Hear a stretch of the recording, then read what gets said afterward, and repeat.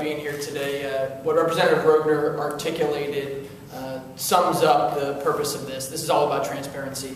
Uh, when citizens are going to the ballot box and looking to uh, vote uh, on a, a, certain issue, whether it's a state issue, local issue, what have you, they have the right to know what they're voting on, A, and B, they have the right to know what's the full picture of debt uh, in their local municipality, in their school district, in their state, what have you. And this shines sunlight uh, on the uh, debt picture uh, so uh, citizens can know how much debt there is in their community, how much debt there is in their state uh, when making important decisions for, for bonds in the local areas and also throughout the state.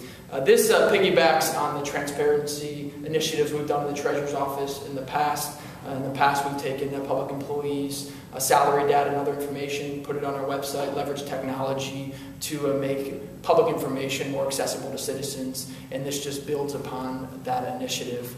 Uh, I'd like to applaud Representative Roegner for really taking the uh, lead, drafting this, and doing the research.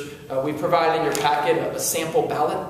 this sample ballot illustrates what a ballot will look like today, and then tomorrow if this legislation passed and essentially just gives more information to taxpayers uh, when they're walking in the ballot box and closing that curtain.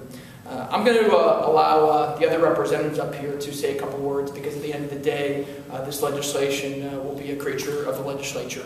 this is something that the legislature will have to debate and discuss here in the House and eventually, hopefully, in the Senate. And so I'm going to allow these representatives here to take a couple minutes and talk about why they're co-sponsoring it as it's introduced this week.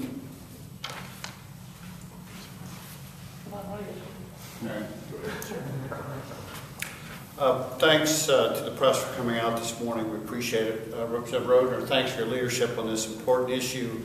Uh, you know, here in Columbus, we're blessed with uh, a lot of press looking over our shoulder and uh, really holding us, I think, accountable to the debt load of the state. And I see a great need at the local government level to have some additional light to be shined on the debt loads of our local governments.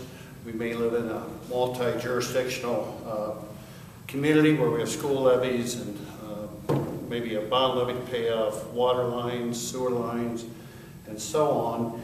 And I think it's very important that uh, the constituents that we serve have uh, as much knowledge about what the true debt load is that they're carrying on their tax shoulders, so to speak. So Representative Roegner, thanks for your leadership on this important issue.